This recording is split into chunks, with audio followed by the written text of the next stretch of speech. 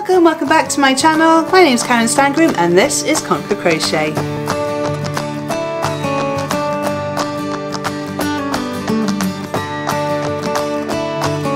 So if you're watching this in sort of real time on the day of release or a couple of days afterwards, in the UK we've just come to the end of Mental Health Awareness Week. So this week I wanted to do a book review uh, sort of based around mental health and how we can use crochet to manage our mental health. So the book I want to talk about today is Mindful Crochet by Emma Leith. Now most of us are aware that crochet can really help us with our mental health. It helps us being mindful and in the moment. The repetitiveness of stitches can actually help to slow down your heart rate, which can help with your serotonin and the finishing of a product uh, that can help with the dopamine levels, all of which help to give us a little bit of a boost to help us see things in a bit more of a, a brighter, sunnier way. Now, I appreciate crochet cannot help with every mental health. There are times and situations where you are going to need to speak to a doctor, and if you feel like you need to talk to someone, please go and talk to your GP or ring the Samaritans if things are getting really serious. So this book, Mindful Crochet, 35 crochet projects just to help you be in the moment. Now Emma does have another book which is Colourful Crochet and I will put a link to that one and this one in the descriptions below. And they're also in my Amazon shop if you want to have a little look there under crochet patterns and crochet pattern books I think it is.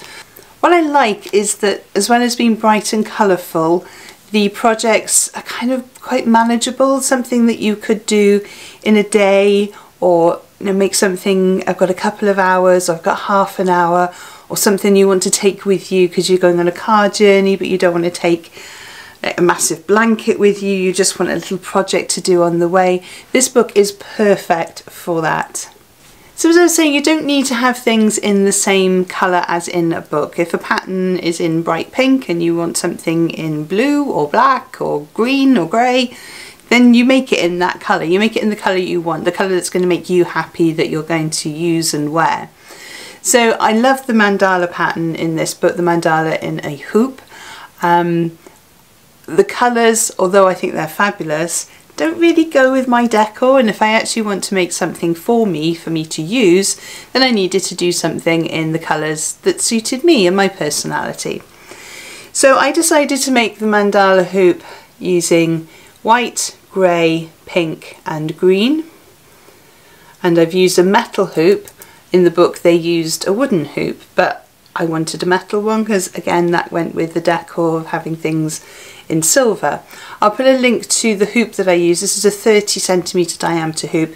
I'll put a link to that in the descriptions in my Amazon shop so you can go and have a look there. So this was a really simple pattern. I think had I focused on it completely, I would have had it done in a morning. Um, I was distracted, so because I, I given myself a mindful day, and my only aim for that day was to make this. Um, but when you're sitting there and you're, you know, just crocheting, I didn't have the television on, didn't have an audio book on, I just was in silence, just me and my thoughts. Now, if you want to be distracted by audiobooks or music, then that's entirely up to you. But I've got a lot of thinking I want to do and things I want to try and get in place in my head. So I just wanted the space, but without actually thinking. So I was thinking about this, but every now and then a thought would pop into my head and I'd put the project down and I'd Google something or I'd make a note or just write it down and then pick it back up again and carry on. So it actually took me a day rather than half a day but I think it would be easy to do especially if you're a fairly quick crochet you could knock one of these out in a day.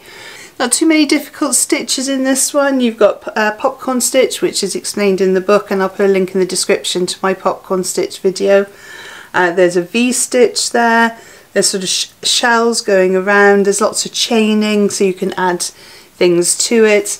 And I was thinking about my Sophie's Universe and I hadn't made a mandala before I started the Sophie's Universe and actually I think if I had I might have found the beginning of that pattern a little easier to follow had I made some mandalas first so just a little side tip there that you might want to try.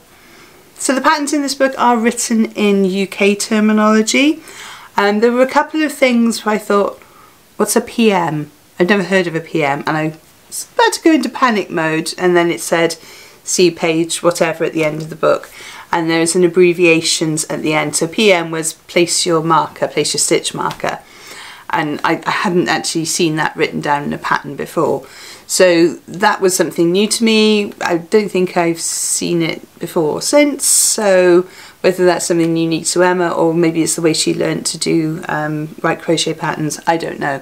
But the answers were there, so I wasn't sort of sitting there thinking, oh, that's it, can't do it because I don't know what the answer is. You know, the answer was at the back of the book. So there's different themes in the book. So you've got colour therapy, you have touch and texture, mindful meditation, caring and sharing, so things you might want to make as gifts. There are things for the summer, there are Christmas decorations in here, there are things for you, things you might want to gift. And one of the things I think when you're trying to do sort of mindful crochet, don't pressurize yourself into I've got to make this, I have to make it for a gift and the birthday's tomorrow and I have to do it now because that's just pressurized and that's not making something mindful. That's giving yourself extra headache. So start off if you're wanting to do this for your own mental health, do it in your own time at your own pace. If you don't get it finished, like I didn't with my mandala, it wasn't done in half a day, it was done in a day, but I didn't berate myself for not getting it done in half a day. No, it was my project. It didn't matter if it didn't get finished. There was no deadline. I just enjoyed it.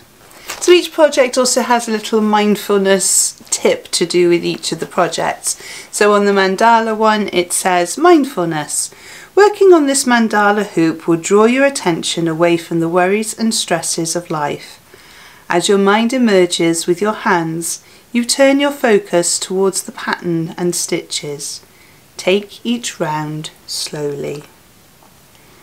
And each pattern has one of those just to sort of think about know, maybe it's focusing on the colour or focusing on the counting of stitches. You know, when you're counting, you can't think about anything else. You can't have a conversation with someone else either. But you can't be thinking about too much else because you'll just lose where you are and then get cross with yourself and have to frog your project. So nice little tips in there for how you can make things more mindfulness, what you should focus on whilst you're making the pattern. So I really hope you've enjoyed this video. This is a lovely book. I highly recommend it. As I said, it's in my Amazon shopfront link, which is in the descriptions below.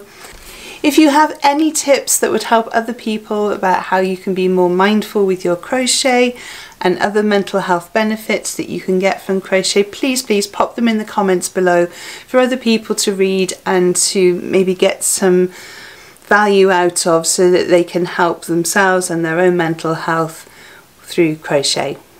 So thank you so much for joining me on this one. I will pop two videos on screen to help you on your crochet journey and I will see you over there. Thank you so much for joining me on this one and happy hooking!